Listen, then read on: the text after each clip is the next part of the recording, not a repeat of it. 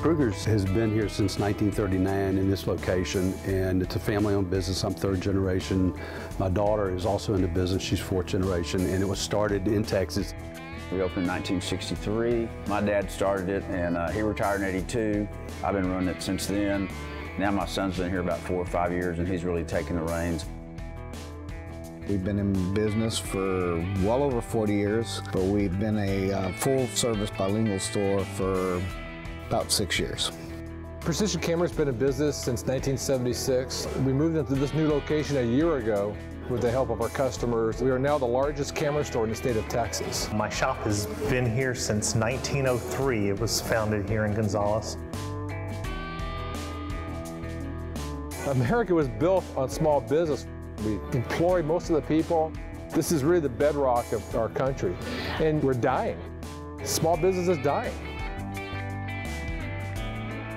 What we should really be doing is talking about a level playing field so that local brick and mortar stores like myself and my wife can compete with those internet stores that don't have to uh, they don't have to file for sales tax like we do quarterly.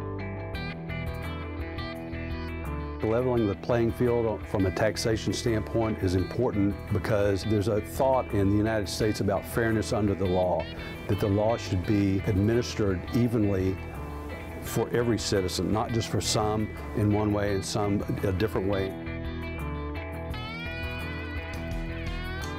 If I'm running a business here and somebody wants to put one right next door to me, I don't have a problem with that. But they should have to jump through the same hoops I do and collect the same taxes I do. It's not fair for me to start off with an eight and a quarter percent disadvantage just right out of the gate.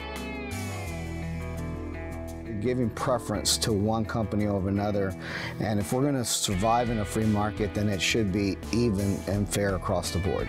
Anytime one business has to collect sales tax or pass on something to the government that another business doesn't have to pass on to the government, that's obviously going to hurt the people that have to collect it. A free market only works if everybody's playing by the same rules.